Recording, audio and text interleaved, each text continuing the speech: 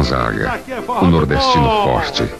Há quase meio século, acompanhado de sua sanfona, ele é a voz de todo um povo, de quem é súdito e rei.